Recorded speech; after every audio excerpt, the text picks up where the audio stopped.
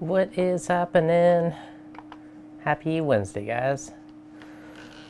Scott, welcome, welcome. Ireef, Kevin, what is up, buddy? Harkin, Scott, Ireef. What else we got in here so far? Hopefully everyone's having a happy, wonderful Wednesday. McCullum's Reef, Gao Gao. Trying something a little different today. Trying to stream from the living room by the tank and figure I'd do a bit of like a live tank update. So hopefully audio, everything's sounding good. I'm also trying to be fancy and use my wireless mics, so hopefully it's working well. Uh, was just at Reefapalooza last weekend, which was pretty exciting. It was a lot of fun. Um, Kevin, Gabriel, if you guys are on, you guys rock. You guys are to my Patreon, so much love. Uh, really awesome to meet you guys in person. Best part of Wednesdays just started. Awesome. Thanks, Kevin. All right, so few new things with the tanks, uh, I guess. So I just heard the, actually the Alkatronic kick on. And so that's doing its thing testing. Hi from Illinois. Welcome, welcome. Sounds good. Perfect. Ah, so show you guys some of the new stuff that I have going on. Pop off all the side panels for now. Uh, so one really cool thing is with side panels is making them magnetic. So you go pop the whole things off and makes it really super duper easy. What's going on, Philip? Sounds good. Kevin. Hello from Scotland. Um, yeah, any of you guys were at Reefapalooza? Nice to meet you guys. Was a lot of fun. Uh, super awesome event. Way too many late nights, lots of time hanging out. Met tons of people. It was a lot, a lot of fun. So if you guys haven't went, you should go. Actually, any reefing shows can be a lot of fun. So, what's good? Life is good, man. Life is good. So, look at this. We're testing this up. We got the nice big USB cord. Uh, big question, how are the NEMs? So, I do not have the NEMs yet. The NEMs are coming soon. I'm getting them shipped back because that's way too much water volume. So I bought a good chunk of NEMs. So if we look at the Nano, we can kind of see the colors are on the webcam are not quite as good as normal, but gives you an idea.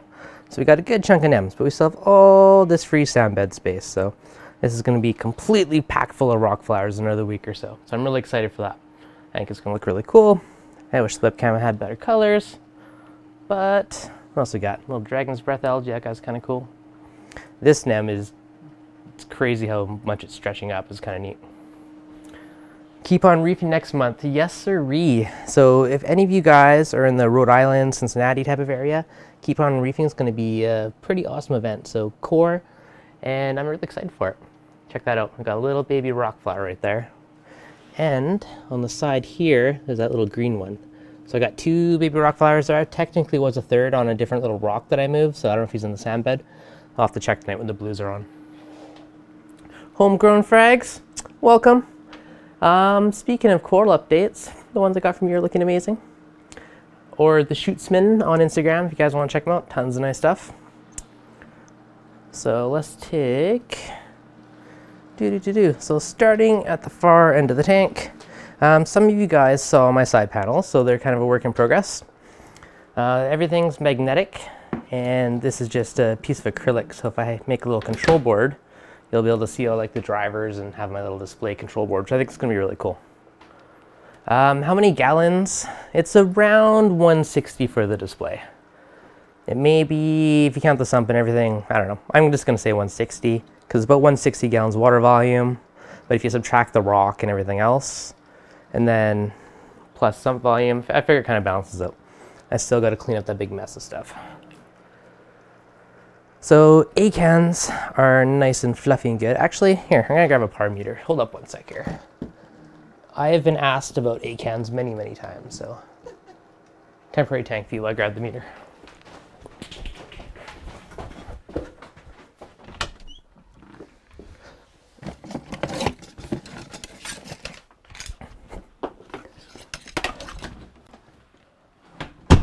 All right, so I got the par meter. I believe it's around 100 to 120 roughly for the par for the acans. And I'm gonna test it.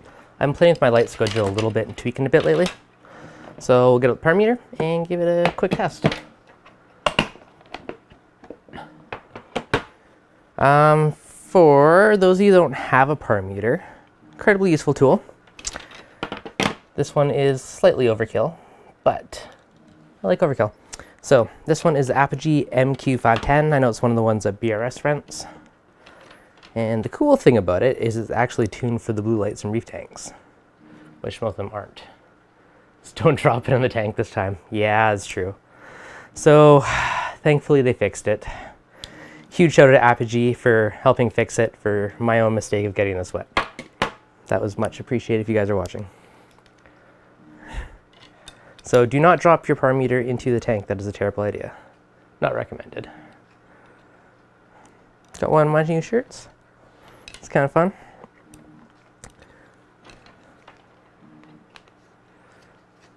Uh, your setup is my goal. It's so clean. Thank you, Josh. Thank you. This is one thing that kind of helped. Well, yes and no. This is kind of revision two of my tank in a weird way. So I originally had revision one of my tank, which was my previous shallow reef. I wasn't even really planning to upgrade this one. However, there was a bit of a hazy line in the tank and the guy that built the tank was amazingly awesome and basically re helped replace it. So that meant a small little upgrade. Let's find a good camera spot. So where's a better spot? I've been promising I was going to check the ACAN stuff for a while now, so. All right, let's try this. So this goes. Let's don't drop the webcam in the tank. All right, ACANs. Everyone wants to know what my flow is, how they are, why they're so fluffy, etc. So, current par at the ACANs. Um, so it's about 140 towards the center ones. Um, outside's around 120. The front here, 120. 157. All right. So about one, I'm going to say 110 to 150 is the range of ACAN par. Now, a couple things with par. Uh, when you want to look at par, how much light something's getting, that is a single point in time. So something else you got to consider is the duration of that par. So, you know, 100 par for five hours or 500 par for one hours could be delivering the same amount of light energy to a coral. I actually did do a video on this that's going to be released on Monday talking about it a bit. So that'll be coming up on Monday's video. But they're super fluffy. Um, I don't know if there's a good way to judge or tell flow. Um, you can see they're kind of shaking a little bit. Hold the camera still. So I'm going to say they're kind of medium flow, I guess I would call it. Low to medium flow. They're not being blasted, but you can definitely see them shaking and moving. So hopefully that kind of helps with that. Uh, I really wish the web camera gave better coloration.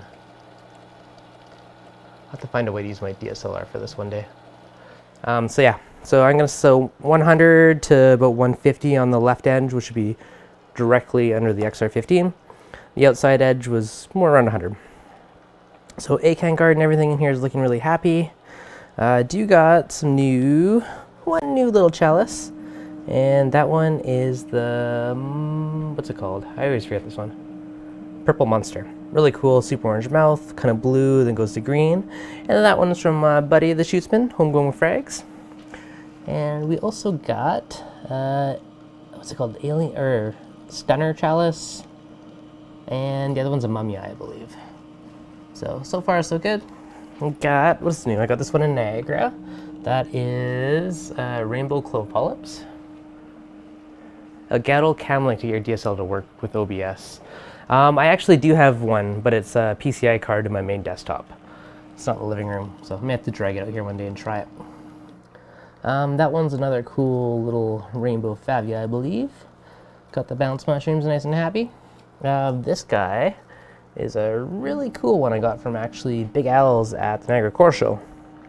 So some really pretty colors in that guy. Um, next coming over, we got kind of the little Favia type of island here. It is Jason Fox, or Cyphastrea, sorry. Uh, Jason Fox Burning Banana.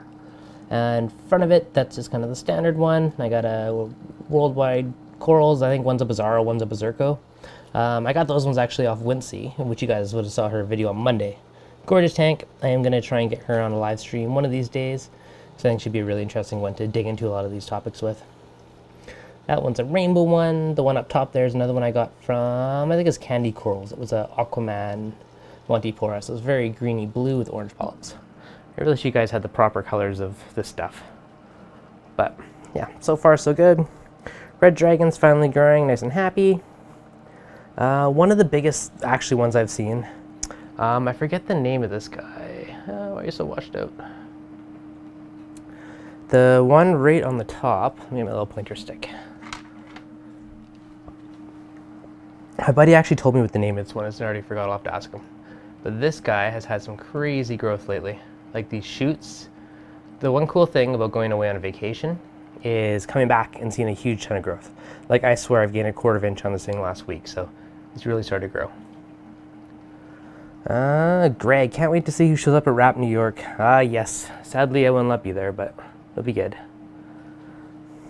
Um, so I used to have all my Euphyllia out in front here, and I moved them all to the side. So this is kind of like the back wall of Euphyllia. Uh, so I got the torch. I think this one's my rainbow or hellfire torch. I've seen a bunch of different names for it. And then we got the frog spawn, then we got two different hammers. So uh, another thing people are asking for was coral placement and what can touch, what can't. So these ones obviously can all touch. Most Euphyllia is pretty safe, and I have you know the torches beside the frog spawn, beside the hammers, and everything's okay there. Uh, I got an octo spawn. I just kind of have that one in the middle, inside of the archway. Uh, coming looking down, this one probably does not show up on camera, but I'm really excited for this coral. It is called a Tropicana. I've seen it called a reef wrap Tropicana, but what it is is an orange Anacropora. And yeah, you, uh, you can't even see the color of this one. It's like a really cool orange with green polyps. I just kept coming back to it and I had to have it. it's super cool. It's just an amazing different colors on it. Uh, another thing I also did is I upped the lighting on my lights a bit. So I more had my kind of modified AV plus schedule.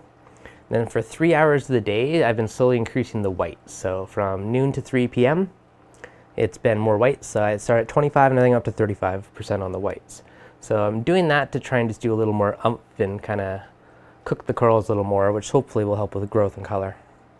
Uh, now a few things. I have started to notice my tank color up a lot more lately, which has been good. Um, this guy was lower. This is a little piece of rainbow loom. Uh, a little bit better. So that's the rainbow loom.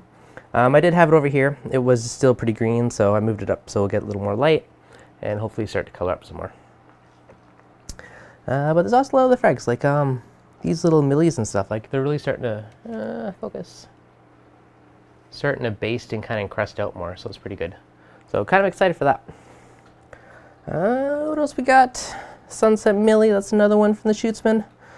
Homegrown frags. I'm really excited for that guy. That's been on my wish list for quite a while. And we come down to the sump, and we got a few new ones. This one is, so I bought two new Zoas at Reefapalooza. Uh, this one is Nirvana, and this one is, I don't know, someone told me a Skittles one. I think it was kind of a, a wild one, but there you go, kind of see it. So it goes from the front. So, a couple new frags. So, once they're kind of happy, I'm going to put them out in the tank later.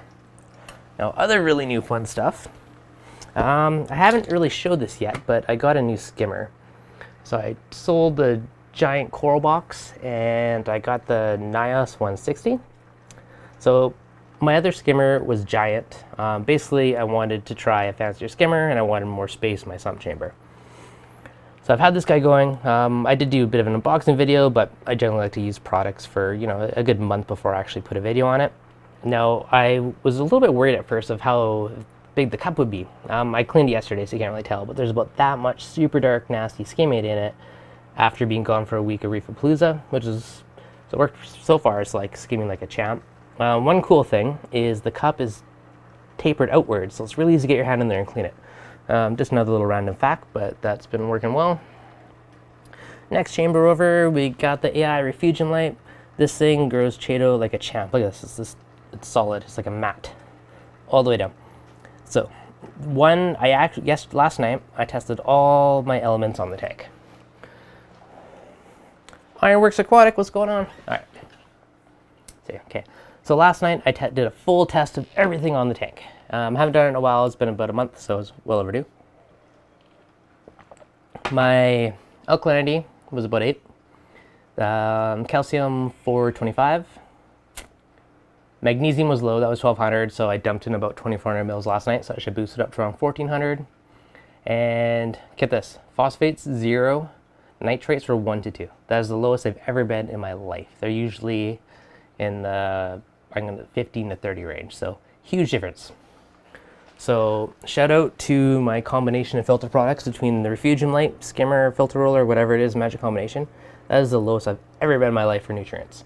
Now I don't know for sure if that's the correlation of stuff starting to finally take off or the tank's just kind of settled in after doing the upgrade and moving it over.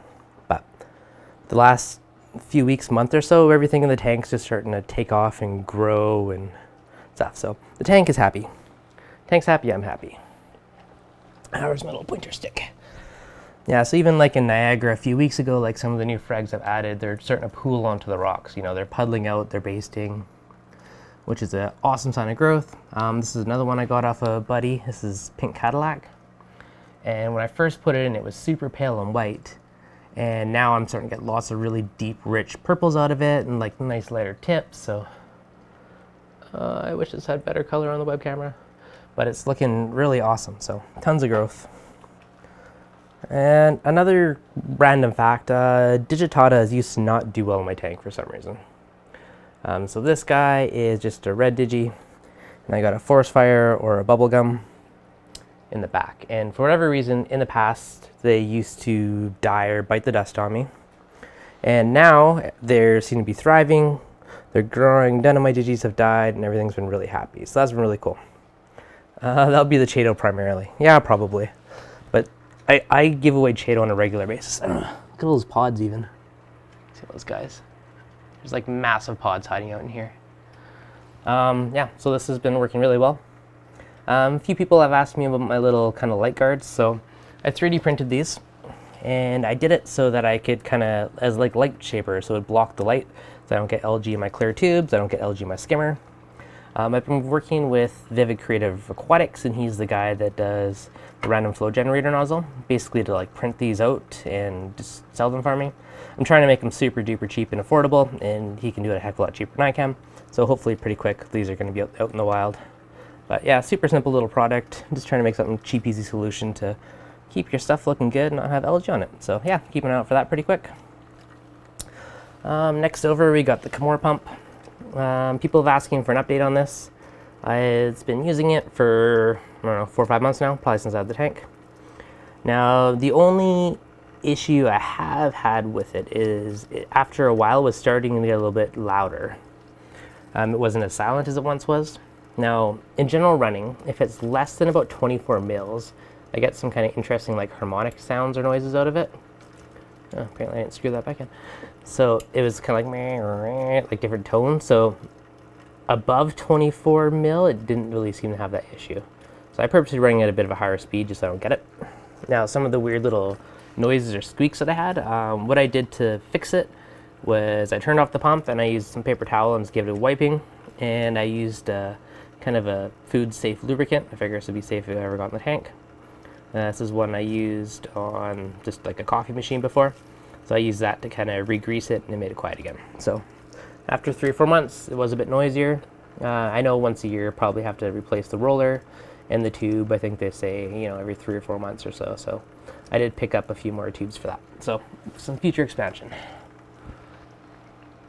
Uh, what's going on, Ravenclaw? Make them white so they reflect light rather than absorb it. Yeah, that's a good point, Greg. We can print them in white as well. Either work. Um, those ones I just printed in PLA. Um, as for Antonio, what he's actually printing it in, I'll double check with him. I just sent him all my models and prototypes and stuff and just getting him to tweak it a little bit because he has an army of little printers. And shipping Canada is expensive, so he could probably print them and ship them for me for the price I'd spend just on shipping. So still got to clean up the rat's nest. Alkalinity test did when I started the stream, so there you go. 8.14 is the current elk. Um, this is just for looks. It's absolutely doing nothing at the moment. I still got to hook this up eventually. Got the two power bars and a big rat's nest of wires. So this still needs to be cleaned up. Um, I may do a really cool custom kind of control panel. I'm working with Adaptive Reef on that, so that's all future stuff to come. Uh, now, some other people were asking earlier in the Facebook group about coral placement. So if you guys aren't in the Facebook group, uh, just search for Reef Dudes Saltwater Community or something like that, Saltwater Chat. And yeah, if you ever have any questions, you can always ask it in there. Um, so what corals can go together? Generally, the same type of coral will be okay. Like you can see, I got the red dragon and the teal deepwater acro are both touching, not an issue. Zoa is touching, not an issue. You know, Zoa and rock flowers are touching there. You can see the Zoa is just around the edge of it, a little closed up, but they're still kind of half open. Now, what you got to worry about is certain corals will fight each other, and one may take over against the other one in a bit. Um, even on the base of that super big polyp gorgonian, there's a little bit of a Monty that's still there. So that's starting to grow and come back. But so far it doesn't really, it's hard to say who's actually winning in that one. Um, when it comes to acros, certain ones, if I start to see them start to touch, I'll usually frag off a little branch just so they're not growing together. Um, sometimes, you know, you might just see who wins. Sometimes they'll fuse together. But generally the same species is more loving than a different species. So like I said earlier, Euphyllia is all good you know, in this little branch, you can see different types of zoas and mushrooms are touching, not really an issue. Um, so same thing, like for like. So trumpet corals, those guys are all close enough basically touching, not really an issue. Gorgonians, um, these haven't been an issue. I mean, they're all buddy-buddy, so I'm kind of excited to see this grow together. I think it's going to look super amazing. Speaking of Gonioporas, my little collection here is slowly growing. These guys are super awesome. What's going on, Seymour? Colson Smith, don't know if I, if you remember. Dude, it's always a pleasure. I met so many people at the show. It, it was really a lot of fun. If you, if you guys are ever out at a show, definitely come say hi. I love meeting you guys. Super cool, and I love talking reefs, so always game. So this is a little Gani Island in the making. Yeah, got another little mushroom island there.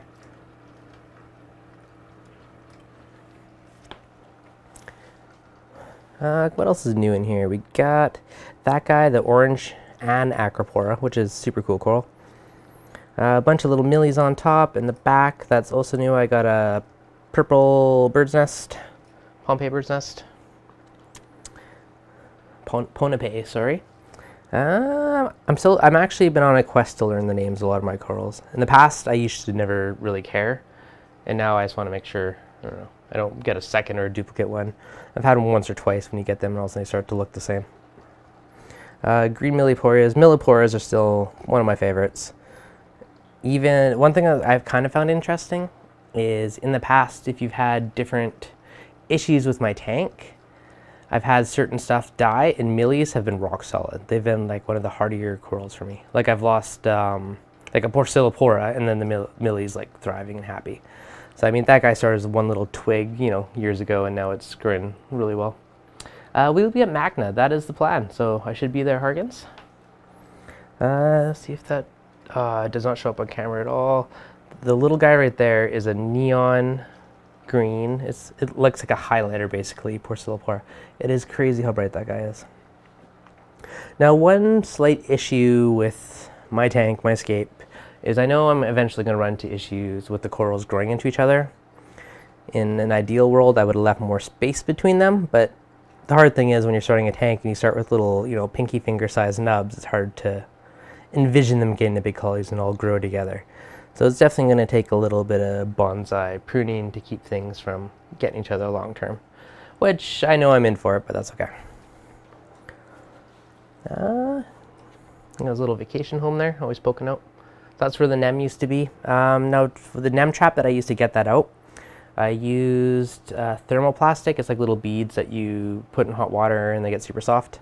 Um, this stuff's extremely useful. Uh, as you can see, I've been using it to like mount little frags, make little ledges. So under that little incinerator zoa there, you can see the little thermoplastic kind of putty stuff. So that stuff works really well. Uh, I also recently used it to kind of raise up and stabilize little Chalice Island over here. So super cool that thermoplastic stuff. It hardens, it's reef safe, food safe. So really cool stuff. It's very versatile.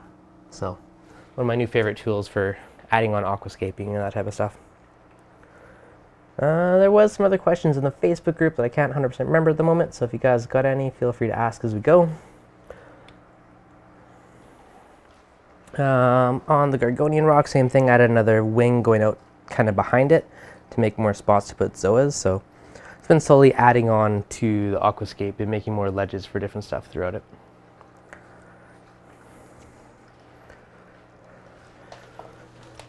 Uh, another really cool one I don't have installed yet, but I'm gonna have to get rid of my basket of rocks, and I got one of those Nyos torque reactors. Uh, I ironically, I actually had the tube for like a couple months. I had a buddy that bought one, and he had the biggest one in the medium-sized tube, and he decided he's only gonna use the biggest one, so I got the medium one off him. So I finally got a base for it, so I'm kind of excited to hook that baby up and use that.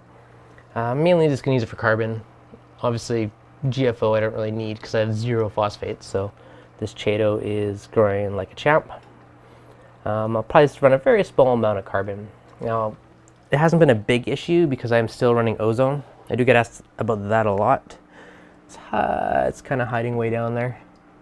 But I do have, hiding behind my little acrylic thing, I do have an ozone generator. And what that does is, homegrown frags, two new babies on the pink hippo. Excellent, excellent. Uh, where's my pink hippo? Did I lose my pink hippo? Somewhere in here. Um, so ozone kind of works like carbon. Now, the Nyos skimmer, I got two, two hoses here. Uh, the clear one goes to an outside air line, and the black one goes to my ozone generator. And the cool thing with the Nyos skimmer is on the bottom, there's a little port for ozone built into it. So it's made to handle ozone. Now I run it at a very low amount. So I'm gonna say about 20, 25 mils per hour. And I run that from about, I think it's 1 a.m. to 5 a.m. or midnight to 5 a.m., something like that. So four or five hours a night. Um, and what ozone does is it will essentially break down organics in the water. So it will help keep your water crystal clear and remove any of those yellowing pigments. Uh, Dev, does is it stay pliable long enough to use underwater? I'd say you have about 30 seconds to a minute of work time with the thermoplastics. Um, you can put it in, yeah, yeah, about 30 seconds once it hits the water. So I kind of do a rough mold of it outside the tank and then I'll dunk it underwater and as it cools it gets stiffer and stiffer and harder. Does the skim uh, thermoplastic make the skimmer go crazy? I actually didn't even notice the difference in the skimmer, so not enough to worry about if it has any effect on it. But the stuff is incredibly useful. I think I bought a tub of it for about 25 bucks for 250, 300 grams, and I've mounted so much stuff with it. I gave a buddy a big handful of it, so it actually goes a long ways. Uh, yeah, so yeah, ozone. So really cool that this is ozone ready right out of the bat. Uh, another thing I added, just as a safety, if you see that little box right there, it's a XP Aqua skimmer overflow protection type of thing. I don't want to take off the lid because if I hit it, it might set off the alarm. There you go. See, it's a little optical sensor. Um, they were only, I think it was about 80 bucks. That was Canadian, so probably like 60 bucks US. And it's an optical sensor, and the cool thing about it is it's magnetic. So if I take it off, or you can put it on whatever you want, and it'll go through glass, whatever, it just reflects the light. But if my skimmer ever overflows, or is about to overflow, it'll set off an alarm and then cut off power to the skimmer.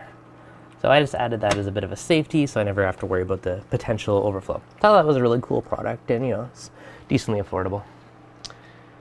Uh, need to lower my phosphates. Any simple ideas?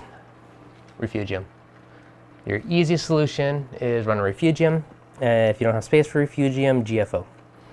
Um, so GFO or granular ferric oxide is very powerful. It will absorb phosphates and can lower them very dramatically. With GFO, less is more, so run very low flow or just don't add too much all at once. Because if you don't want to drop it too fast, because that could impact SPS or potentially other corals, it's good to have a little bit of phosphates. Now, I've been feeding my tank quite a bit, and after testing and seeing I have next to nothing for nutrients, I'm really going to step it up and try and feed the tank very, very heavy. I already felt I was doing it heavy, but it's, it's going to get heavier now that I know I can. Uh, which Nyos skimmer is that? This is the Nyos 160. I'll probably do a video on it in about a month or so. I like to use stuff for a while before I do any videos just to make sure it's all good. But so far, I'm loving it. It's been skimming like a champ. I almost wish I didn't clean it yesterday. I'm going to say there was about that much really dark, nasty stuff. Um, now it also has an AC power pump in it, and it is amazingly quiet for AC. I went from a DC one, and I was worried about the noise, and it's still super silent. Uh, the noisiest thing in my tank right now is just like the calcium reactor pump. There's like a slight little hum rattle to it, so I don't know if my impeller is slightly out of line, but I gotta dig into that later. And that's literally the loudest thing in my sump right now. So skimmer super duper quiet. Very happy with it so far. Yeah, so give me a few weeks. Um, how many total gallons? I'm gonna guess 160-ish. It's roughly 160 for the display, then plus sump, but then subtract sand and rock and stuff, so whatever. I'm gonna say about 160. The water displacement's always a bit trickier to try and calculate or figure out. But one of these days I'll get my button gear and actually mount all this and finish cleaning up my wires. Uh, another one thing, I, I have to fix my link, but I have that cable stuff in the back. It's called Panduit. And that's basically to tuck all the wires in and hide it. So I had to change some stuff, so I got to finish retucking it all back in. But it's a good way to, a little bit of a pain when you want to change something, but to keep everything nice and clean normally, especially if you're looking like straight on, you don't even see it. So really good way to do it. Um, the glue on little light strips is obviously very useless, so I have these little kind of holders on there. So I gotta, maybe I'll try beat a super glue or something, but, or not super glue, hot glue or something, but I gotta fix my light. So I have these little clamps on there just in case, so I knew it'd fall eventually and it doesn't fall into your water. Another little, another little quick tip. Uh, extra rock and some ream pure under there, so that's going to come out. I'm going to put in that Nyos Torq reactor soon, so expect a future video on that guy. Uh, I got the auto feeder in the sump, if any of you guys have seen any of my talks that I did at the Niagara show. Uh, one cool thing I like to do is have an auto feeder in the sump. Now I do that because who wants to clutter up the sleek lines of your tank with a big chunky auto feeder? Now I can't really see because it's really dark, but I have a power head in the bottom corner here. And when a few minutes before the auto feeder comes on, the power head kicks on, it does crazy high flow in the sump, so a couple thousand gallons per hour. And the auto feeder will drop pellets, and the whole point of the pump is to keep the pellets suspended so they keep circling the sump until they get sucked into one of the pumps. And then they get spit out into the tank, and then the fish get a little feeding, feeding frenzy because there's pellets being shot everywhere. They love it. What's going on, Rogue Aquariums? Have one emerald crab, my 10 gallon. He isn't eating the bubble algae. What do I do? They won't all eat it. It's kind of luck of the draw, to be honest. Some do, some don't. Uh, hey, Devin, my skimmer is running great now to the breaking time. Awesome, Stefan. Good to hear. I really like my setup. Why, thank you. Yeah, Nyos skimmers are not cheap. Uh, I, well, Nyos stuff is expensive, not the cheapest, but it, it is super quality. Like, it's a very sexy skimmer. One other really cool thing, you can't see the bubbles on it, but the front of the pump housing is clear. So you can look inside of it and see if there's anything caught in the impeller if it's dirty, which I think is a really cool kind of feature for it. I still got to prep myself one of those little flaps for this light to prevent it, so I just have the light angled for now, but I'm to make a little flap for it to, like this stuff. Um, dart pumps aren't either, yeah, so yeah, some really cool features on this. Um, big one, this is like your big adjustment up and down, and you have a fine tuning adjustment for the bubbles. I run a super duper dry skim. That's kind of the way I like to do it. Let's make it a little close a bit more. Um, filter roller, yes, still loving this. I get asked that all the time. This thing is probably a team effort between everything of why I have no nutrients now. But I've never had no nutrients in my life, so that still honestly amazes me. It's the lowest I've ever been. But the combination of three have been working very, very well. How long do you run your refugium light? So currently it is 15 or 16 hours. It's really dusty. Um, so I'm going to reduce that pretty soon here. So either reduce the intensity of it or I'll just run it for a shorter duration. Jay Lee Reefer, 99 cent super chat. Thank you, Jay Lee. Much appreciated. And, and, and, and. Kevin, Gabriel, Robert, if you guys are on here, Patreons, thank you. I much appreciate it. And it's awesome to meet you, Kevin and Gabriel, in person at Rapperlando. You guys are both awesome. Uh, so Davis, I use 3/8 staples hold the LED. They're 10 mil wide on my stand. Ah, that's a good idea. Excellent. Uh, that's a neat feature. I'd like one Nyos one day, but on my upgrade, but now until I use that. Yeah, like, I had the Coral Box. The Coral Box worked well. It's hard to say if it's a big difference yet, like it's still kind of soon, but there's a big difference in nutrients since I've added it. So I don't know. It's hard to say it's a skimmer refugium. Honestly, it's probably a team effort. The filter roller takes out stuff before it breaks down. The skimmer gets rid of organics. I mean, the ozone will help break down organics. The refugium's going to suck it up and eat stuff. So, but yeah, definitely going to reduce that. The main point of the refugium running it more intense was to counteract my pH and boost up my pH. On my last tank, my pH was around like 7.9, 8.1. Now in this tank is about 8.12 to 8.25, something like that. So it's never been below 8, which is kind of cool. Uh, do you think the Nyos 160 is big enough for a total water volume of 250? It's actually a very big range. If you look at the skimmer, um, I think you'd probably be fine. I think it was up to 200 something gallons for this one. They do have the 220, which is a bigger skimmer, but yeah, I don't know. So far, this one's been working really well. Zero complaints at all about it. So you'd probably be good. Um, on the flip side, it would kind of depend on how much you feed your tank, how many fish are in there, how much they're pooping, all that type of stuff. So it's hard to give like a blanket statement.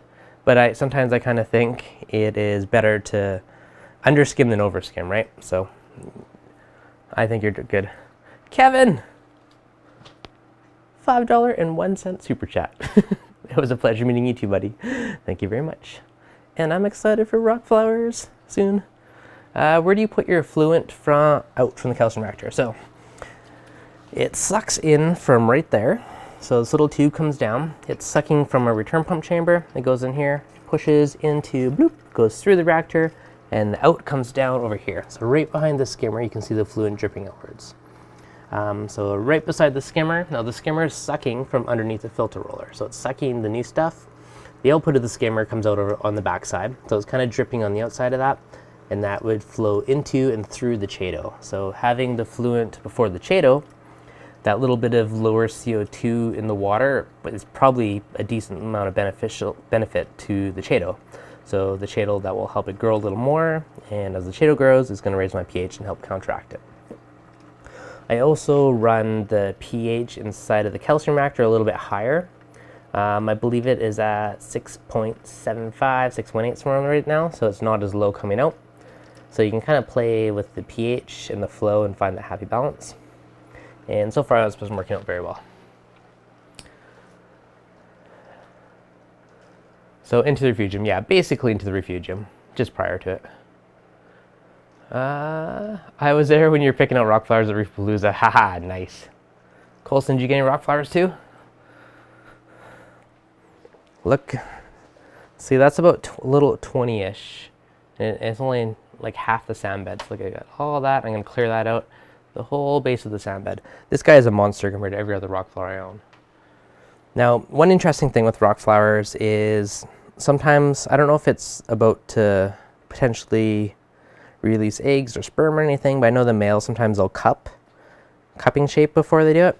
And this guy's been really stretching lately, so I don't know if it's because of where he wedged himself or what, but he's extremely tall for a rock flower. Uh, little dragon's breath algae. Oh, another really interesting thing. I have been slacking and I have not tested the Nano in quite a while. I tested it last night and the alk was, I think it was 5.8 and that is crazy low, like less than six. To me, that seems crazy low. And, but it's been growing like crazy. Let's see if we can top down view this. So these guys, like there's just been a huge surge of growth in here. Like in this green one, it's growing up, it's almost locking in that millie the last little bit. It's growing over the pink lemonade beside it. Like things have just really taken off lately and it's at a very low alkalinity, which I thought was kind of interesting. Now my nutrients are also very low in this tank. Because um, it's only 20 gallons, I give it a five gallon water change every week or so. So it's a very large water change relative to the size of the tank. And because of that, there's like not really a nutrient issue. I do feed it pretty heavy because I think it will help promote rock flower spawning. But yeah, so every, all the corals are looking great. So I thought it was really interesting being that low of an alk because everyone promotes high alkalinity for growth. And that's the lowest I've ever had in my life and stuff are growing very well. So it's kind of interesting. Am I jumping on the sticker bandwagon? I don't know, to be honest. I'm half tempted just because so many other people are, but we'll see. Corals look great, bro. Thank you very much. You had great rock flowers. Thank you, thank you. I'm super excited to get them. Uh, depending on the weather, potentially we'll go for the drive to the border to pick them up Friday. If not, then maybe next week. We'll figure that out soon. But the Nano overall is looking quite good and happy. This guy is growing really well. I put a little rock beside it, just let it encrust onto it, so easy way to make frags. What's going on? Holla at you, reef boy. Just the two fish in here right now. I got the uh, Royal Gramma and the Purple Firefish. So pretty low fish load in here. This is going to turn into primarily a rock flower tank. A couple little sexy shrimp. Got the two babies. But yeah, overall it's doing pretty good. I did pick up this guy. This is a little anemone or mushroom box from Ocean Box Designs. And it magnets onto the glass. So this will be in there. Once I actually get a good spawn, lots of babies, then you can put them all in a little box. And it makes it easier to feed them. So one of the biggest things to get your little baby rock flowers to live and make it is being able to feed them. So, so far you're so good. So I try and target feed them at least every other day. Um, obviously not the week I was gone, but when I'm here. So for sure there's two babies, possibly three in there if the other one's still in there. And hopefully they make it because I'm really excited to hopefully get them to spawn. Someone bought all the fire. Yep, that would be me. All the good rock flowers. So yeah, pretty excited for that. So might put a couple rock flowers into the big tank, maybe on the side of the rocks or some other funky places. Like that guy's in a little hole in the side, and I've had him for ages. He's doing really well. Got a little rainbow one up there and another red one, so yeah, we'll see. They might be cool to kind of fill in sides of rock where there's not really other corals growing. Kind of excited for it. Give Reese's a thumbs up. Thanks, Ed. If you guys enjoy this, as always, smash that thumbs up button. If you guys got any questions, let me know in the chat. Well, I think I've covered most of the main stuff, unless you guys got any specific questions on anything. Um, Flow-wise, I got four MP40s in here. I probably don't need four, but I got them. Uh, two on the back wall, two on this wall. I originally had the two, but I was having a little bit of issue with a little bit of a film building up on the surface of the peninsula end. That's because all my flow was pushing away from the overflow. This is kind of one of the struggles of a peninsula tank. So uh, putting one on the backside helps agitate the water. It doesn't let that little film kind of build up. So that's really helped it. Now when the tank turns into true peninsula mode, I still haven't decided what I'm going to do with that one. Always a thumbs up, appreciated. Do you have sexy shrimp? I got one at Reef Palooza from Kevin with my anemones. Nice. I do. I have, uh, there's one, I should have two or three in here. Well, sexy shrimp are cool little guys. They're usually hanging out somewhere around the NEMS.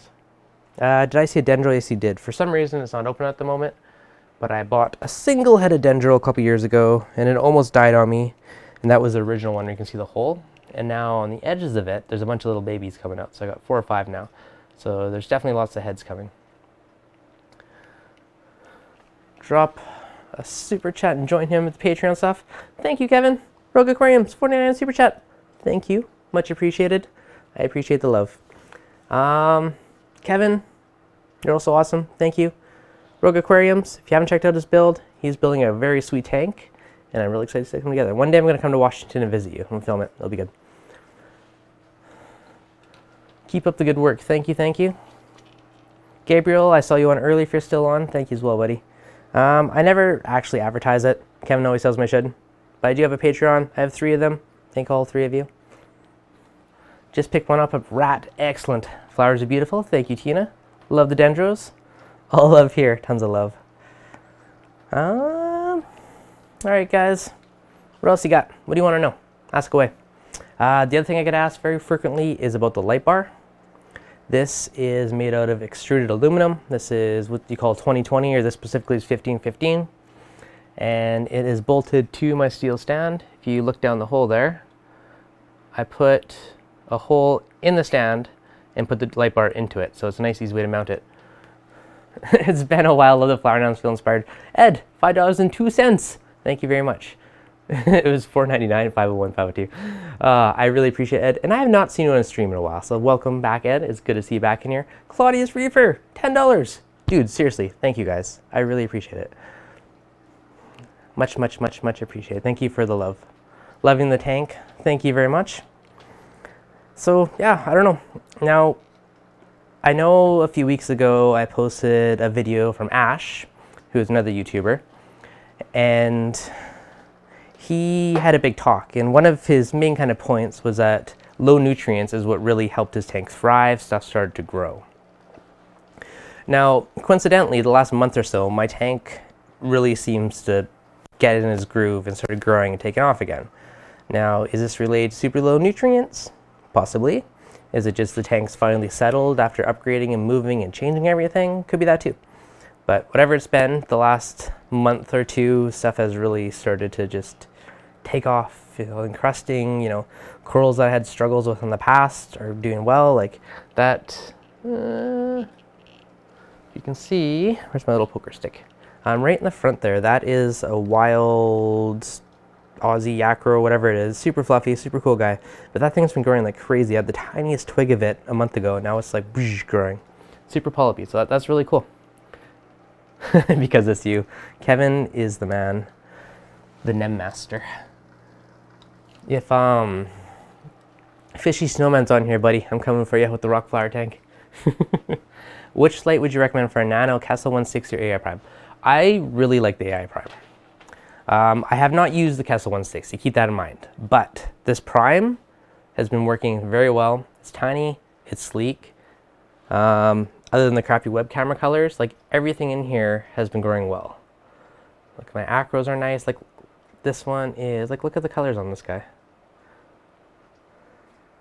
Like all the, I don't know, everything is growing extremely well. Like this, this light's doing a good job. And it's like 200, I think it's 209 bucks US, something like that. Um, same. I got I got a second one for just frags. Um, on my last tank, I had an XR15 I used for frags. So I want to match it, but it's, honestly, it's hard to beat the little primes for the price tag. Like it's a very good price point for what you get. Um, so I stole my old frag light and that went on the tank. Now, one thing people are like, oh man, it must have went crazy, spend a fortune. One thing to keep in mind is I, I started with two of these lights like four tanks ago. Then and I bought two more used ones when I was upgrading. Like you just build up stuff over time. Um, now the video that I posted on Monday, which I thought was really cool, was from Wincy. And she's like a really cool lady that I met. She lives in Niagara Falls, Ontario, Canada. Absolutely beautiful tank, and she has like the most low-tech tank in the world, which I find really cool because her tank is absolutely gorgeous, and it just shows you don't need to be super crazy with all your equipment. Our equipment makes your life easier, but you don't need it. So I think it's a really cool contrast, and I think it's kind of fun to show you guys that. Um, I have been talking to her about getting her on a live stream. So she does work Wednesdays, so there may be an improv to live stream on another random day when I could rope her into one. I think it'll be a fun chat with her. Fishy Gim. uh, love the tank. Thank you, thank you. So one kind of fun thing is this is revision two. Um, I don't know if, I don't think everyone completely knows this, but my old tank built by Concept Aquariums. They did a fabulous job. However, it had some weird hazy line that was across the panel of the glass. And it kind of developed more over time. Now, on my old tank, the lights were lower to the water, and I, with the Radions, I had the narrow lens on it. So they didn't have as wide spread, so it was kind of there, but didn't really notice it. And then once I raised the lights up and a few other things, it really, it highlighted it more. So I contacted them, and they basically said, yeah, it's possible to buff it out, but it's less work to build a new tank. So that's really what inspired this whole upgrade. So I wasn't even planning on upgrading the tank, but if I was going to replace the tank, I figured might as well go a little bit bigger. So kind of backstory on it all. So it's been four and a half, five months now. I basically took my old design and tweaked it a little bit and tried to like improve just the, the little subtle things versus what my old tank was. Gotta go leverage channel. Thank you, Colson. See you later. So like for instance, on the old one, I had the light bar bolted to the front of the steel stand. Now, in order to gain that extra two inches of tank space, so I can make it two inches longer, I had to put in a, another tube in the middle, but left the top open, so I could drop the light bar into it. So just like little tweaks, right? So just little tiny design changes. Um, now with the light bar and all those lights on it, there's a tiny bit of sag, so I just put a little block of wood against the overflow just to kind of act to straighten it a little bit and kind of counteract it. But aside from that, the light bar has been pretty solid. The only one other little mini struggle is it's kind of hard to jam five wires into that tube. So the first half is all nicely tucked in. And then there's a few, you can say a couple of Velcro straps here, but I have the last little stretch of it. I have a couple of them just outside the bar and kind of held on there. So kind of little things. So once I find a way to prop fully hide them, but overall I think it worked out to be a pretty, pretty sleek setup. And you guys have no idea. I honestly obsessed for like two months of figuring out how to properly build this light bar to be floating. So yeah, worked out pretty well. Uh, metal stands are sweet. Love the red and white theme. Thank you, thank you.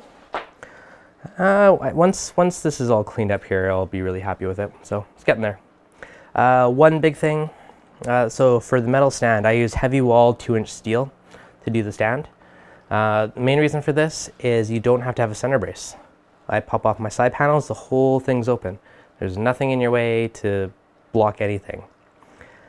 So huge fan of steel stands and the price compared to wood is not much of a difference. So might be worth looking into if you guys ever want to get a metal stand. I definitely would say they're one of the better ways to go.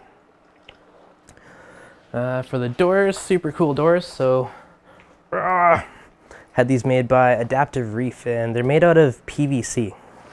And I've countersunk the magnets into them. So really kind of easy modular type of door pattern. So literally just goes bloop and sucks to the side of the tank. And I have multiple panels. I was originally going to link them together to be one big panel, but it's kind of easier to just pop them this way. So super easy way.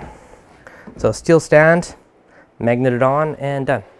Nice, easy way, clean up your stand. Gives that really clean, kind of fancy look. I mean, being magnets, once in a while you don't get it perfectly lined up, so just give a little nudge on the far end and just push it over and get them all lined up. But steel stands are great. Um, on the old stand too, I would use magnets to mount everything inside. So that's another good tip for you guys. What's going up, Nathan? How are you doing? So, let's pull one off and show you guys. So, magnets are your friend with steel stands.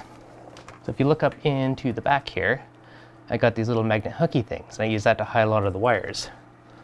So, I pull these down. It's just like a magnet with a hook on it and you can use that to tuck up all your wires and hide it all. That way when you're looking at your tank, you don't have a big mess of wires. It just goes like, you know, that extra little step to keep things looking nice and sleek. Bloop. Uh, what else we got for an update? Do do do. I have a mangrove in my return just for fun, slowly growing. It's kind of happy it sprouted and it's slowly getting there It's kind of spinning in a spiral around this tube, but my just for fun mangrove. Um, race the powder blue, loves it. All right, Bob, you ready, buddy? You ready? Come here. Ready, ready, ready, ready, ready, go.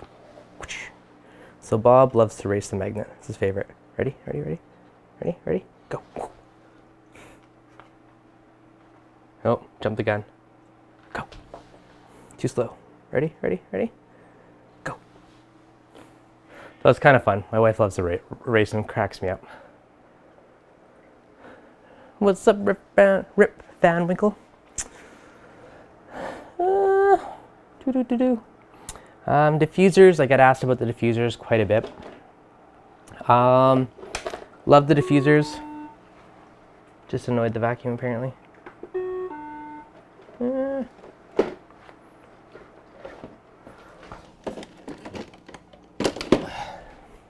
Um, do love the diffusers. They give a, best way to explain it is they give you something in the middle of LED and T5.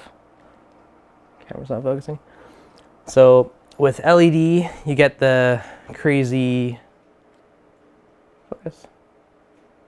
So with normal LEDs, without them, you get the kind of like chaotic, I think they call it caustics. I call it like micro shimmer. Don't make him smash it. That was in the glass, nice. Um, I call it micro shimmer. You get the crazy one. With the diffusers, it gives you a much more soft shimmer everywhere. Which you can kind of see, like if I pop one off, see if I can do this one hand. Okay, so I take the one off, and you can see it all like the micro jittery shimmers on the bottom. And you put this back on. Maybe if I can get it on. and it gives that much more kind of softer fluid shimmery throughout the tank. There we go. So it gets rid of the micro shimmer and I also find it evens out the par, the par as well. Like the G4s already have pretty even par, but the diffusers kind of makes it more of a blanket. It gives it more of that T5 look where it kind of blankets around the coral. So yeah, I don't know. I think the T5 LED mix is a good idea, but for an open tank, I think it's too bulky and cluttery. You know, aesthetics is a huge part of me because it's, you know, in the middle of my living room, I want it to look sleek. So I think the LEDs with diffusers are like a huge win for that because it gives you kind of something in the middle. If you could change anything about your system, what would it be? You know, I've already kind of done that because this is version two of the same tank and I've already tweaked a bunch of those little changes, but they're like little things, right? Like I put the light bar inside of the tube rather than in front of it, so that gave me two more inches of length, like just little things that I changed. Um, I added a second return pump for redundancy, like completely overkill, but if one ever dies, my tank's not going to miss a beat. So I've already kind of done a lot of that. Uh, yeah, Kevin's saying softer look, agreed. My wife also says it's easier on the eyes rather than looking at the bare LEDs. Just a little light panel, so overall I like it. How much am I dosing my nano tank? I'm dosing about five mils a day, roughly. Uh, my alk was super low, so I just upped that a little bit. But I got the doser going, and yeah, I think it was around 4.5 mils a day, and last night I added an extra mil to it just because I was a little bit low on some of my parameters. So, so far so good with that. I'll top that off, but um, I did do a bit of a manual dose, so I'll have to check it again today and then adjust from there. A little overflow stuff. Um, for flow in the tank, I just have the stock return pump. And I have the Nero 5 in the background. So a little dirty now. Um, that's sitting in the back. I do have the magnet submersible. They don't advertise as that. I've been doing it. So far, so good. This is a little frag rack wall. Got a new little sleek one on top, and I got my rock ones below. Just kind of growing out a bunch of the frags I got at the few shows until they're a bit bigger. Then I'll mount them somewhere in one of the two tanks. Uh, and the other thing I did, I honestly have not used this skimmer in months. I just leave it turned off. I should take it out and gain the space. It's kind of loud. I don't know if you can hear it or not. It's not terrible, but it's still a bit on the loud side. Um, so it's there. I only can use it half the time. In the back, I haven't used the, the filter socks in a long time. I just put a little chunk of that polyfill stuff on top, and then every week or two I'll just toss it and put in a new chunk. Um, does have that nice little flap. I do appreciate that because it hides all the stuff behind it. Uh, the stock one, you got two little switches, kind of your little control panel for the return pump and that. And overall, so how do you find the eCoral controller? Okay, quick and dirty eCoral. So I've been using the eCoral for four or five months now. The app is really easy intuitive. They did a fantastic job on the app. Um, once or twice I had a little issue where it said the power bar was disconnected from the controller. It did seem to fix itself very shortly after, so it wasn't really a big issue. Um, all the probes, everything, the I find the salinity probe for the Apex super flaky. This one's actually been really reliable, so I get a plus for that. My one downside to it is that when you get relative to an Apex, say, I think you have six, do you have six outlets? Yeah, so you have six outlets on this, where you get eight on the Apex. People ask me all the time the comparison. Uh, the one thing that I feel is lacking is like a breakout box. So you can control stuff, but you can't really do stuff based on input. So I couldn't say I have a switch trigger my cabinet lights, for instance. Um, so I did suggest that to them. So I do think it will be coming down the road, but currently they don't have that. So that's one of the bigger things on it. Um, the price point, it'd be nice if it was a bit cheaper. That's the other type of thing. But overall, for my Nano, it has worked very well. I don't do as much as I do on the big tank because I have a lot more equipment stuff on that one, right? I got like my power bars are both two power bars both full on that one. So for a very easy, intuitive, simple to use setup, they did a fantastic job. Breakout box would be a nice addition to it. And, you know, a little cheaper never hurts either. How big is the Nano again? This is a 20 gallon all-in-one tank. So it's about, it's basically an 18 inch cube. The back few inches is your return chamber. All your little chambers in the back. Uh, what skimmer is that? This one came with it. So this is whatever the Red Sea one is. And like, it works decently well, but if you can hear it, it's just, I don't know, it's a bit loud. Or, or better, better way to put it is it's what I hear out of both tanks on a regular basis if it's running. Also really loud is the Apex auto feeder that just kicked on. So let's show you guys my feeding system. So as you can see, we got lots of flow just kicked up into the return pump chamber.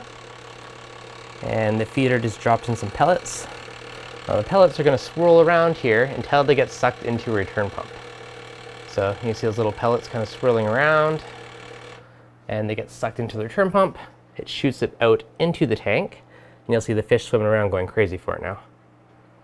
So a really cool way to hide your auto feeder, right? No one wants to see a big chunky feeder sitting on the edge of the tank. So hiding it down there is a great way to do it. Um, yeah, and see I have lots of flow. I have a little pump in there basically on max, so it's doing a ton of flow inside of this chamber, and it keeps the pellets suspended, it keeps them circling until they get sucked into the pumps.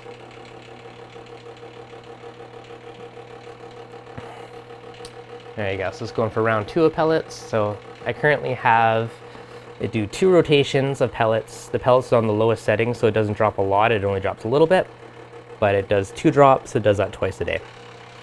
Um, in the morning, I feed nori to the tank. Uh, I've got the little uh, Innovative Marine feeder, so they get nori twice a day. And it gets pellets twice a day, just a small portion, so they get two snacks at noon and 3, and then I feed frozen whatever other various foods at nighttime. Um, Greg saying sad that the price point is a couple hundred more than the Apex EL. I honestly think that's why they released the Apex EL is to compete against it. Um, if the E-Coral was like 200 bucks less than the Apex, I think it'd do really well being at the same price. It's a little bit harder just because they have so many more modules and add-ons and stuff you can do with the Apex, right? So if they were, you know, 200 bucks cheaper, I think they'd be in a really good position. But I don't know. That's up to. I mean, I generally not dig into price because I think the price is depends on what the person perceives value is. I know. Good lord, it's loud. Exactly. that is my biggest complaint with this thing. Is it's freaking loud. You can hear it from across the house. Um, what light am I using to grow macro algae? This is the AI Prime Fuge. Um, I was actually beta testing this light for a month or so before it came out, and this thing is a beast. Uh, when I first started, I had like a softball size of Chaeto in here. In three and a half weeks, this whole chamber was full. And that was with me giving away Chaeto. Like I give away big chunks of the stuff constantly to people because it literally grows like, if you look in the side, it is literally top to bottom. Like this is a solid chunk of Chaeto. It's amazing how well this thing grows it. Highly recommend this light. Um, chance to take snails get sucked into the Vectra. Do you take a chance? Um, well, I don't really. I have those super tiny ones, those little crustaceans and stuff, but nothing's really been an issue. I haven't had any issues of anything bag getting sucked in. I purposely let food get sucked into it every day, and it's never been an issue. Uh, Robert, yeah, so yeah, Prime, no problem, welcome. Have you found the dwarf angel's nip at corals? So, I have a coral beauty and I used to have a purple whip gorgonian and a purple plume and a gold whip gorgonian, and he destroyed them. He just kept nipping at them until they just deteriorated over time. Now my Candelabra gorgonian, not an issue. Like you can see how fluffy that thing is. Crazy fluffy, he doesn't touch it. So it's kind of been hit or miss. So I haven't bothered adding the other ones back in just because they might be goners. I see a tank of fire and I just stir. yeah, Kevin is the man if you need cleanup crew. Or possibly rock flowers. But you have to ask him on that one. Uh, so yeah, look at that. Actually, the light's starting to show a bit better on camera now the lights are dimming down.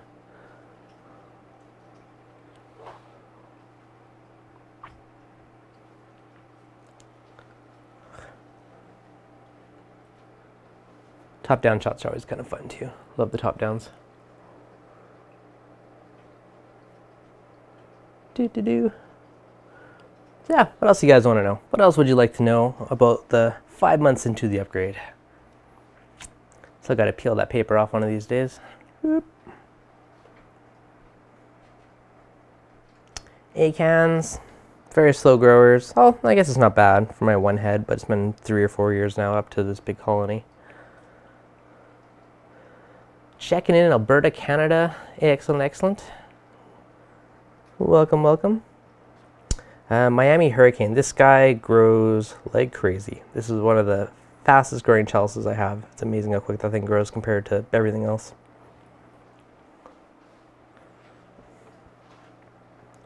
Do, do, do, do. Super awesome Scoly. He's pretty cool. I still got to find a good spot for that guy. Getting six flowers from Kevin's excellent.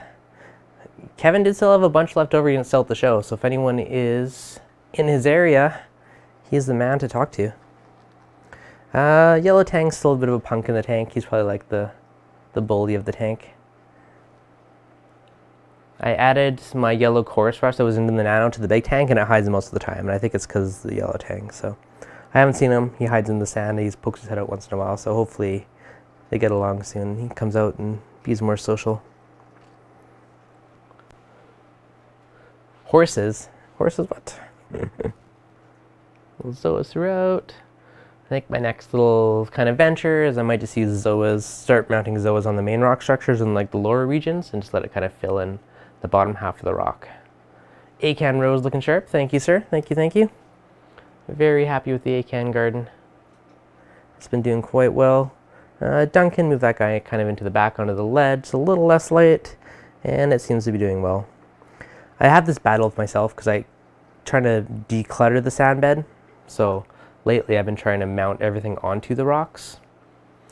Um, Kevin, I donated to an online auction for Dave. Oh, that's awesome, Kevin.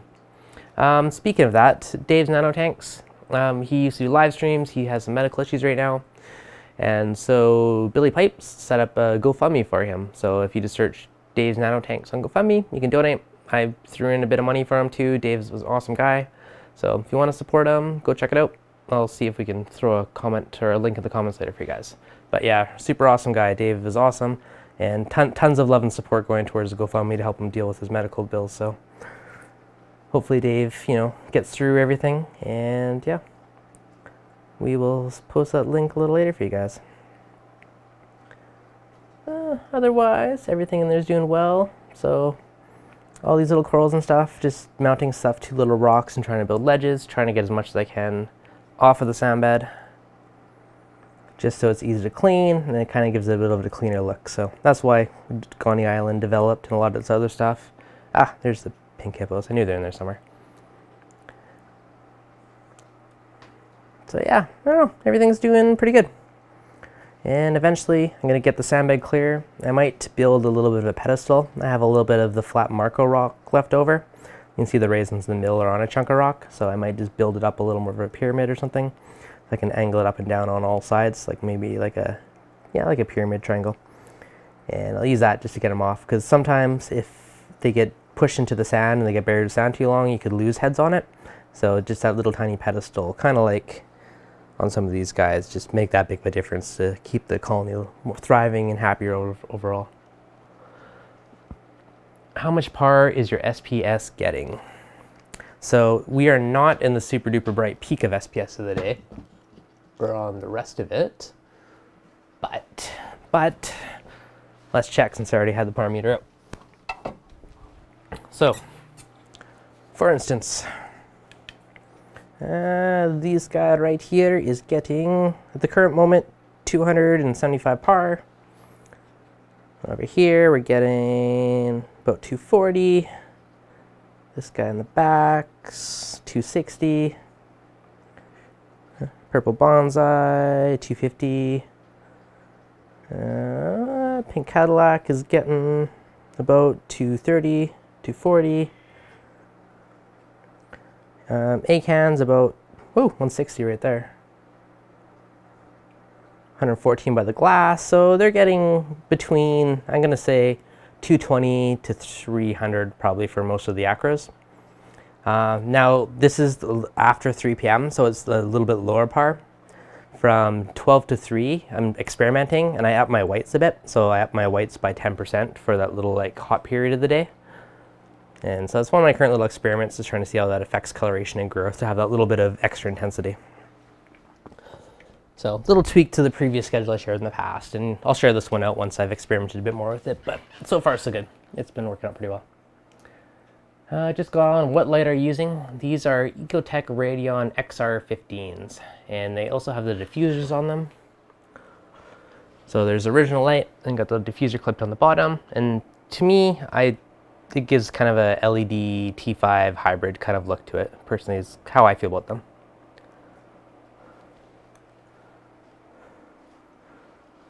Do do do do. What if I a live stream from a GoPro in the tank? Probably not through the water. That'd be kind of cool to try one day.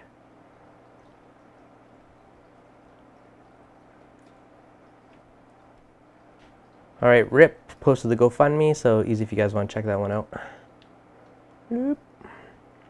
Gave the back a bit of a cleaning the other day. Trying to make sure I clean it every few weeks just so it doesn't get built up with stuff. Keeps that nice clean look.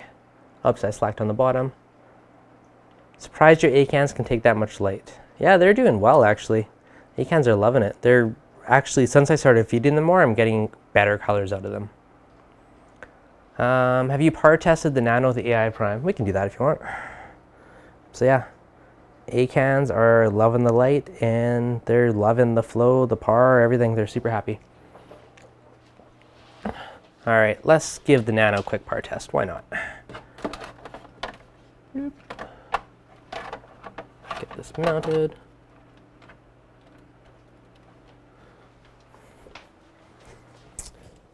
All right, so the Nano is a pretty flat schedule. So this guy in the back is getting about 160. Uh, here at the front with the encrusting Monties, same thing, around 160-ish. These acros on top right are getting around 277, 270. Uh, my little pink Cadillac nub in here is getting 220. My Sunny D's are right under the light. They're getting close to 300. And I think I have the light around 70% for kind of a bit of a reference point. What intensity you're you running your Radions at at peak hours? Okay, let me show you guys that. Your tank is looking amazing. Thank you, sir. Much appreciated. All right, so you want to know which light you're asking about. You're asking about the Radions for the peak settings. All right, let me show you. Give me one sec, yeah. Let me open my app and double check. Uh, what intensity? Having an issue where my zoas are only opening to around 70%. Parameters all good. Raise, alk, lighting and flow, nothing changed. in ideas? How new are your ACANs? Are they old ones or are they ones that are freshly added to your system? Um, sometimes they will just take a while to settle in after parameter change. Um, have you thought about a species only tank? Rock flowers. Uh, the nano is, I'm only really adding new corals of rock flower variety to the nano. So there is some other stuff in there currently, but it is, I'll just leave what's in there now. Okay, so kind of see the two hour, three hours of my day. I got that little boop up into it and my normal chunk of the day is AB plus-ish at 70%. So I got all the blues maxed out and about 25% red and green, 24% white white, and 22% cool white. So that's kind of like the normal period of the day. That's not my intense peak. And then my intenser peak it's still 70%, but I raised the whites to 40%. So the red and green still 25 and that's 40. So that is what I'm currently experimenting with and I'm doing that for three of the day. Um, kind of like cook the corals a little bit and just br hopefully bring out some more colors. Now oddly the white the white the whiter look has actually been growing on me the more I do it and see it. So it gives a nice very vibrant crisp look to the tank which I kind of like. Um, doo -doo -doo Looks amazing. Have the AI Pi running on max on my Nano. It'll be close to 300 across the top. Thanks so much for doing that. You're most welcome. Uh, running the same lights with the diffusers at the same height as you. Um, so your tank is perfect. Nobody has a par meter around here. There you go. If your lights are similar height, similar lights, you're gonna have, you know, same ballpark of lighting. Now, why, so why do my 3Rs more?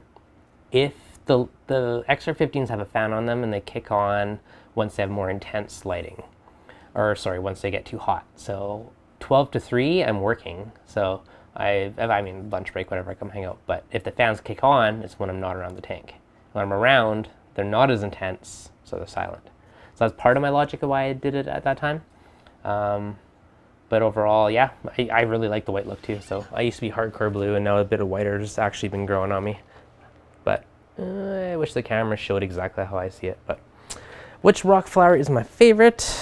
Uh, which one? The pinky pinstripey ones are really cool. No, wait, you can't see it there. Let's try the top down. I really like the rainbow one. So in person, this looks very pale. Uh, actually, all these much, much pinker in person. That one's really cool right of the scrambled egg zoas. That one's super vibrant pink with like a green skirt and kind of little pinstripes in That one's really cool. It really is hard to say. I love all rock flowers. A couple of little war paint ones and other funky ones. But I don't know. Honestly, I'm just excited to try and get these guys to breed. I think it's going to be super cool once they do. Um, what are you using for flow in the Nano? In the Nano, I have a Nero 5. So this is very broad flow, which I think is awesome for it. Yeah, look at that. Little guy's drawing towards the pump, the flow. Um, so, good pump. Okay, so with the Nero, one thing I think is awesome about it is I put that pump in my big tank and was able, that five and a half, six feet, it was able to move the whole water column. So whole water column moving from that one little pump. I have it in my nano tank and I can turn the flow way down and it's nice gentle flow for the nano. So that the fact that I could buy a pump once using a small tank and keep using as I upgrade, I think is a huge plus for it. So it's something to consider if you guys are thinking about one, but the fact the pump can grow with you is really cool. You know, you're 1,000 up to 3,000 gallons per hour. So it's a huge range of flow. So I think that's pretty cool. Um, have they spawned yet? I have not caught them spawning in the act, but I do have two babies in the tank. Um, I technically had three, but I'm only finding two right now, so it may or may not be in the third. So someone was making love at some point, and yeah, it's true. They're all pretty awesome. Exactly. So overall, yes, love the rock flowers, but I'm still on my big project. I want them to spawn. I'd love to have hundreds of little babies in there, and it's to happen. Don't you worry. It's coming. Um, Kevin's an amazing man and helped me out on some bulk rock flowers, so I'm to hopefully either Friday, if not next week, depending on the weather, go pick them up. Um, now I ship them to the border because it's easier you don't have to deal with as much paperwork as you do in shipping. It's easier to do it that way and also have to pay the customs or duty on it, not a big deal.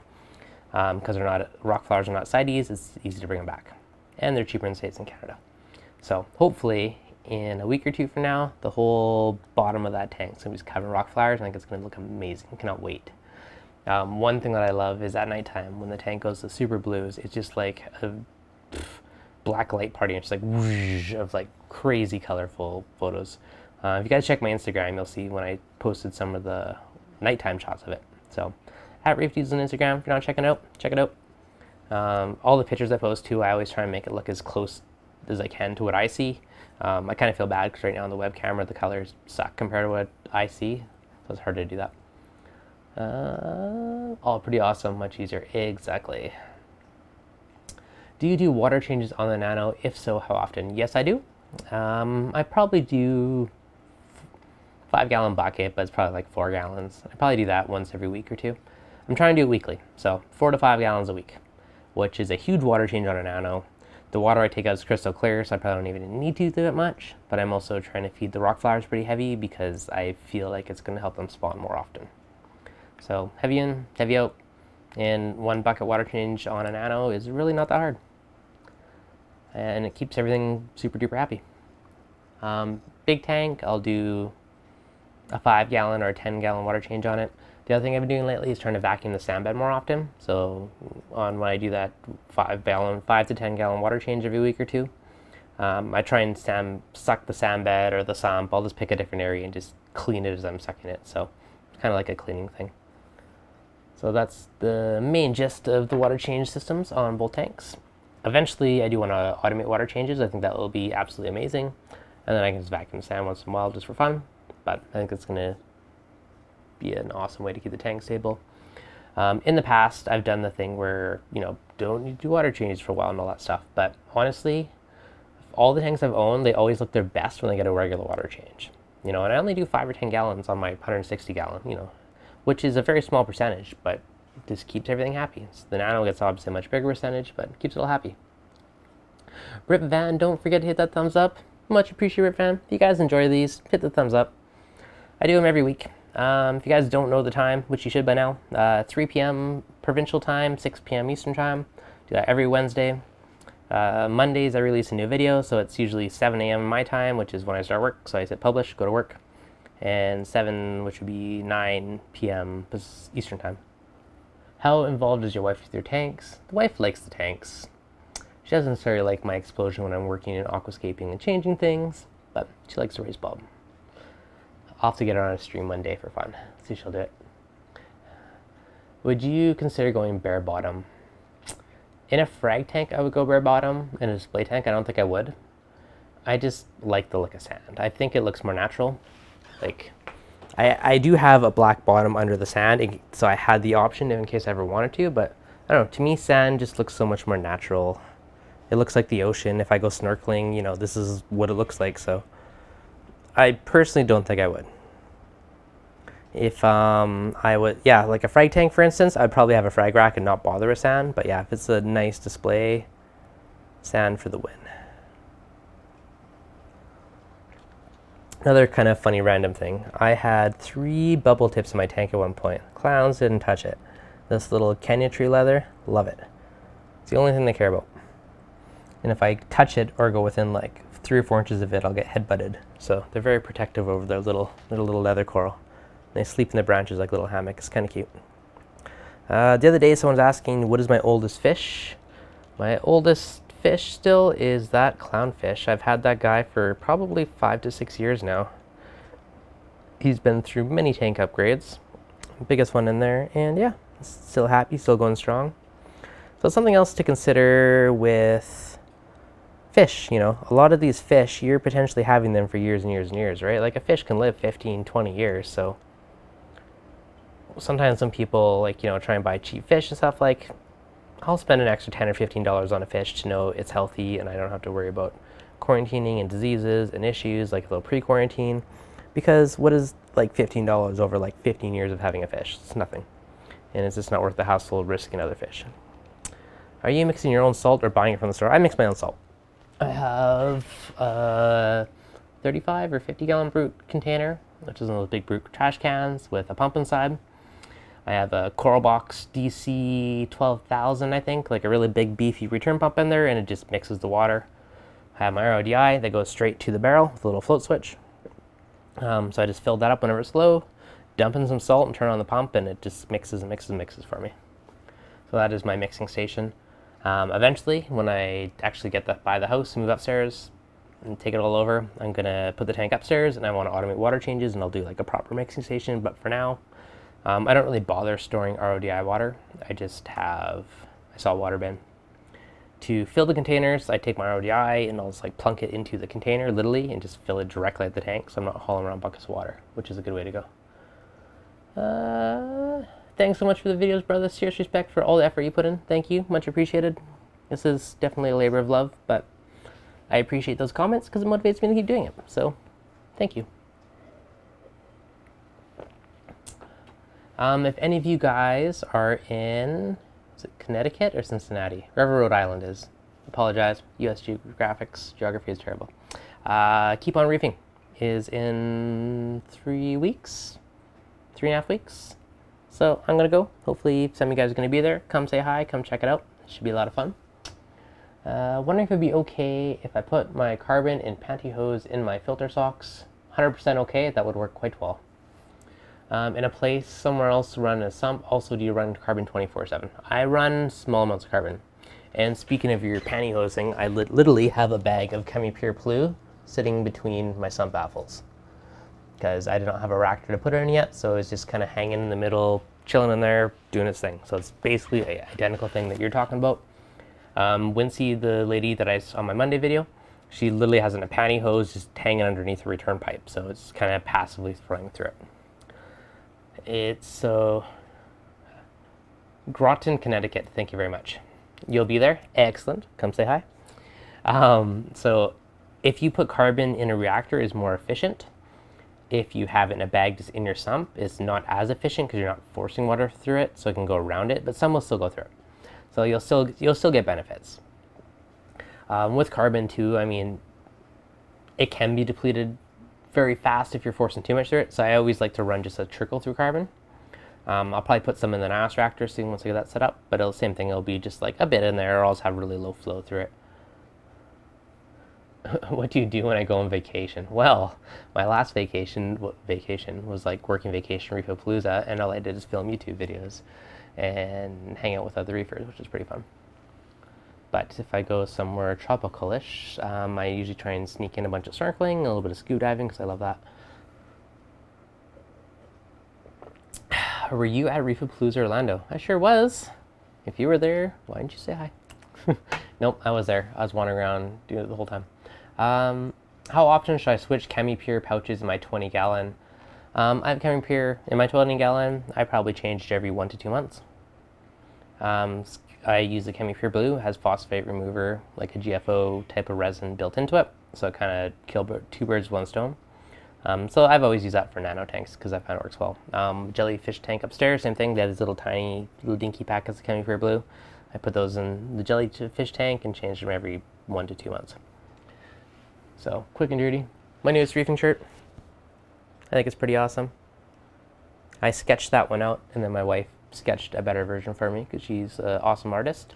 And this is what we got come out with. So, little anglerfish, I think is pretty awesome. I'm stoked for it. Uh, just did a new design, which will hopefully be here sometime soon. I was hoping to be here for today, but it'll be out soon. So, I have fun making shirts. Anyone wants a shirt, reefdudes.com slash shop. Super soft, awesome shirts. Um, yeah, I really like them. Are you going to Reefapalooza Chicago? Uh, probably not. I feel like I'm tripped out for the year with all these reefing shows. It's going to be four shows this year, which is a lot. It's like the most I've ever done in my life. So probably not go to Chicago. So just Orlando for this year, and then keep on reefing. And then I'm going to go to MACNA in the fall, which should be good. Uh, have you ever been to the Great Barrier Reef? No, I've not. I've not been to Australia. I would love to one day, though. I think it'd be an awesome to go check it out. One thing that I do want to do, um, I haven't quite figured this out yet, because it's not the cheapest thing in the world to do. So I'm kind of on the fence. I don't know how I'm going to work it, but uh, the coral restoration project. You might have seen I posted on my ReefDudes Facebook page about it, and they're doing a project to help restore the coral reefs. And they're making like coral trees, so you can like sponsor a tree or grow out there. I think it'd be really cool to go on that trip with them and film it all, video it, like video them restoring corals and fragging them and putting them on the trees and growing them out and planting them on reefs and if they're to try and line it up, hopefully do it when the corals are spawning. So I think that'd be amazing. So I don't know for sure, but I'd love to go on that trip. I think it'd be like an amazing video. So we'll see. Not the cheapest, but may or may not be able to swing it. So we'll see. I think it'd be really cool though. Um, Aussie, I'm heading there in two weeks. First time and been living there for six years. You're living there. Oh, you're, you're, that's money. That'll be awesome. That'll be a really cool trip. Uh, what's the benefit of running ChemiPure Blue as to Elite? I've never used Elite. Um, I don't know if Elite has the phosphate remover in it. Know Blue does, so I'm not too sure if there's any difference aside from that. I've honestly only ever used ChemiPure Blue um, or just regular carbon. So big tanks, I generally don't use the blue. I generally just use standard carbon. In the smaller tanks, I've always used the blue because I feel you get the benefit of the extra phosphate remover out of it uh, be cool just to help them. Yeah, I think it'd be really cool. I think it'd be an awesome experience to go diving and you know help them manage a coral frag tree and all that stuff. I just I don't know. It'd just be something cool to do, and it'd be a wicked video. it's kind of terrible. I spent half my trip just filming it, but it'd be cool. Um, what skimmer would you recommend for a 20 gallon? Battling some nitrate issues despite only having two fish. Okay, 20 gallon. Don't even bother with the skimmer. Honestly, the big skimmers work well. The nano skimmers they're okay. They don't do an amazing job. And they're usually expensive for their size. Just do water changes. Five gallons a week on a 20 gallon, 25% water change, it's going to solve most of your issues. So a little bit of effort, you don't have a, you don't have the extra power draw, you don't have the extra noise. So I honestly, I have a skimmer in my 20 and I just leave it turned off. I haven't turned it on in like a month because the water changes solve all my water issues. And you know, the price of what, $200 for a nano skimmer, that bucket of salt that you get from it will last you like a year or two. The same price you spend on the skimmer. So, hey buddy. Hey buds, wanna say hi to the internet? Hello internet. This is my dog. He likes the fish. Yeah. Um, Elite has GFO, so the difference is phosphate removal speed. Yeah, I don't know. I'm honestly not sure. Never used Elite in my life. Uh, I do like the blue though, so, so I stuck with it. Uh, 75 Gallon from the ground up was wondering if you had any advice on cycling and tips to combat different algae blooms phase of the cycle. Okay, tip number one, leave your lights off while cycling. You, if you don't have coral, you don't need lights. Um, fish are fine if, well, hopefully there's no fish yet if you're cycling, but once you're done cycling, even fish right away, like they're fine with this room light. They don't need bright lights. They're for you, they're for the coral. So lights off while cycling. If you want to speed it up, you can use a bottle bacteria product. Uh, the two I've used and liked are Dr. Tim's One and Only and Fritz TurboStart. Uh, Fritz TurboStart is like the crazy high concentrated version.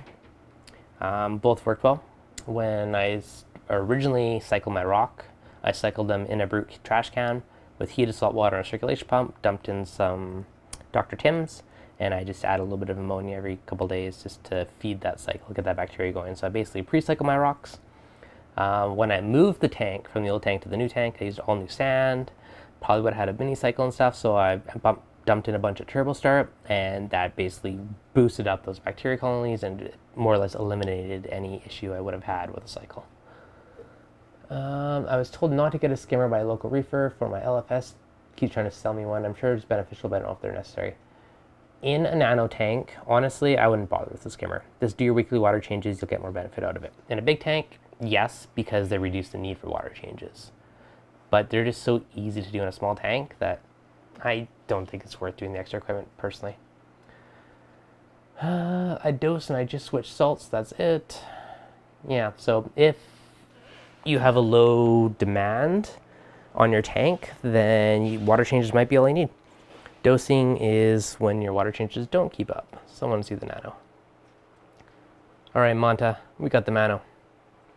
Mix your salt dry, then mix in water and test. Not sure what you mean by that one, Kev. Oop.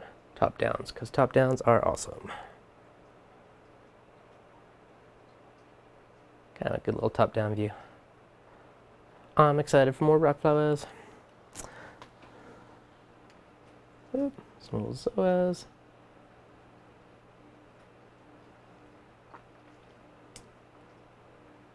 But yeah, the other thing we get asked a lot is kind of how often or how do you know when to dose your tank? The only way you're going to know is by testing.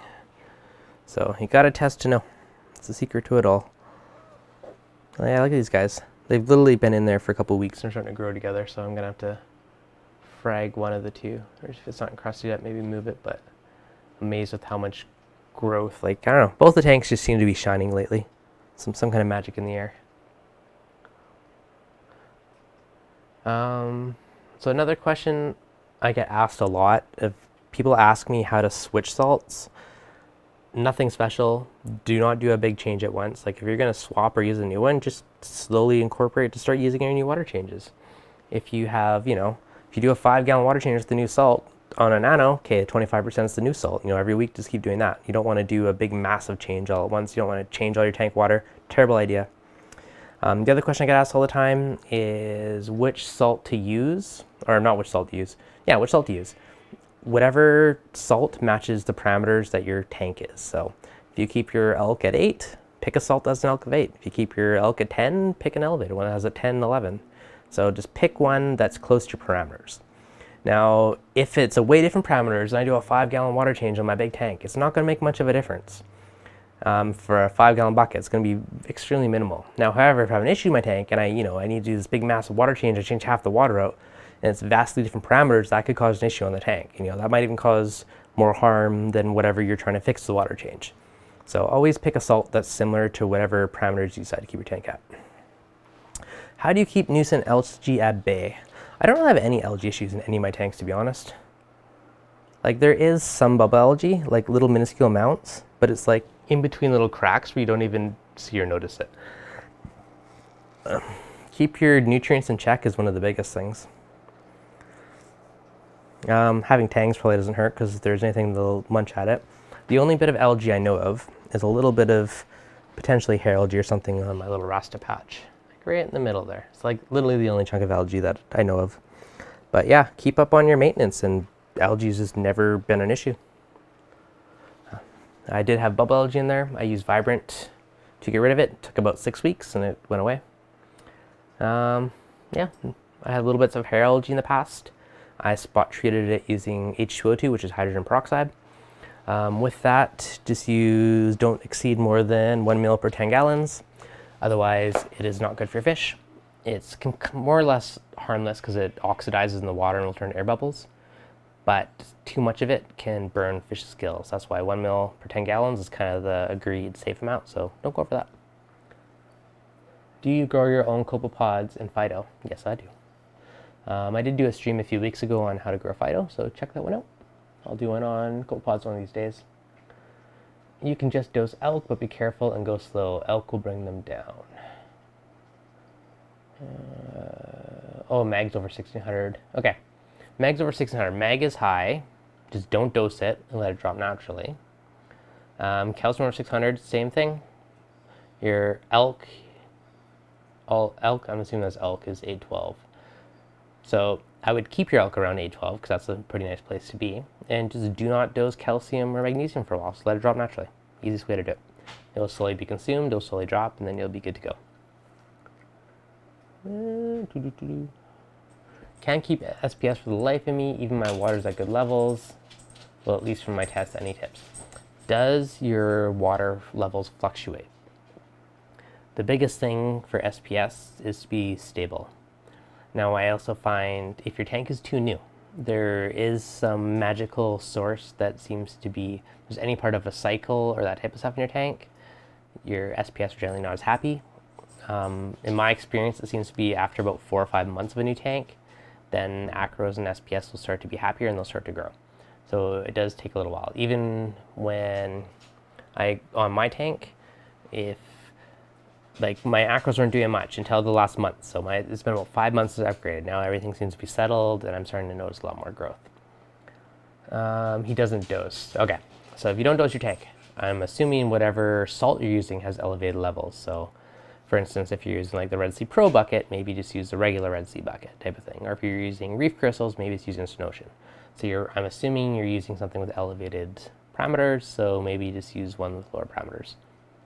Or not worry about it. Um, high calcium, uh, 600 is pretty high. I don't know if there's any negative effects on it. I've heard some anecdotal stuff, nothing 100%. Um, as for magnesium, if it's too high, um, certain inverts don't like it. Aside from that, depending on what's in your tank, it's only one I know of offhand. I'm back. Long time no see. Welcome back. Bloop. Little garden in the counter. Uh, what do we get? All right, guys. I think I've answered all the questions. Any last minute questions, let me know. But I think that was a pretty good overview for a five months update. It's everything that came to mind. Whatever else you want to know.